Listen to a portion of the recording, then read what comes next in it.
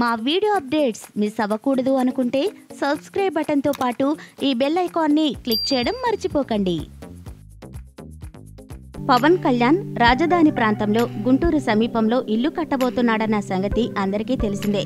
అయితే ఇప్పుడు ఆ భూమికి సంబంధించి ఒక ఆసక్తికరమైన న్యూస్ సోషల్ మీడియాలో చక్కర్లు కొడుతుంది. పవన్ కళ్యాణ్కు గుంటూరు మంగళగిరి ప్రాంతంలోని కాజా దగ్గర రెండు ఎకరాల స్థలం జస్ట్ నలభై లక్షలకు మరో నలభై వేలు రిజిస్ట్రేషన్ ఖర్చులకు దొరికేసింది. ఇప్పుడు ఇదే విషయం సోషల్ మీడియాలో హల్చల్ చేస్తోంది. కొన్ని డాక్యుమెంట్లు కూడా ఫేస్బుక్లో చలామణి అవుతున్నాయి.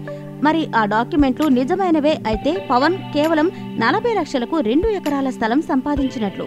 ఇంత కారు చౌకగా పవన్కు స్థలం ఎందుకు ఇచ్చేసినట్లు అన్న ప్రశ్న కనుక వస్తే అసలు ఎవరు ఇచ్చారు అన్న ప్రశ్న కూడా వస్తుంది.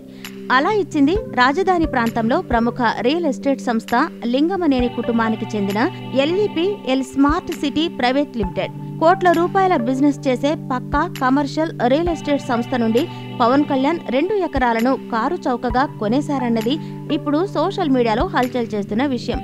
మరి ఈ ఆరోపణలపై జనసేనాని ఎలాంటి సమాధానమిస్తాడో చూడాలి.